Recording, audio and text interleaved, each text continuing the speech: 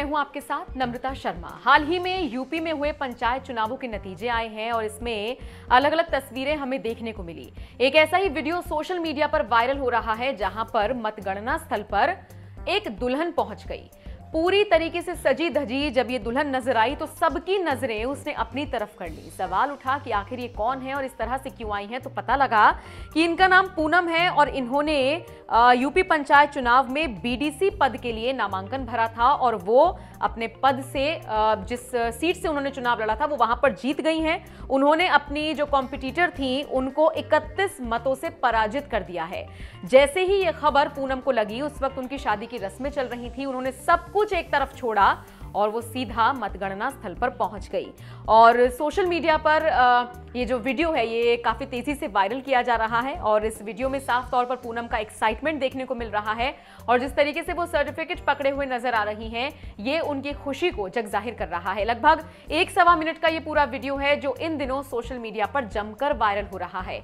एक दुल्हन अपनी शादी की सभी रस्मों को छोड़कर अपनी जो जीत उन्होंने दर्ज की है, उसका सर्टिफिकेट लेने के लिए जब पहुँची तो किस तरह का नज़ारा था इस वीडियो में आप देखिए और उसके बाद कमेंट करके हमें ज़रूर बताइएगा।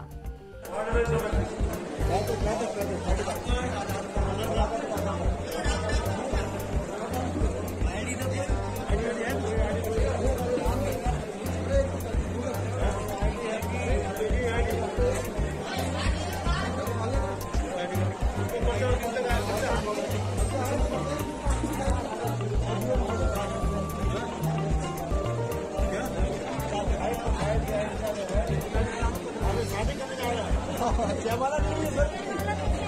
जयमाला छोड़ के आएँगे सर। हम साढ़े ग्यारह बच्चे पे लॉकडाउन लग रहा है शादी ग्यारह बजे उठ। तो जयमाला फेरे में ये दिक्कत है।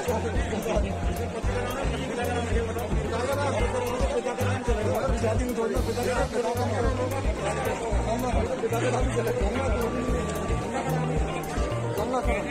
आप ये थोड़ा आवेदन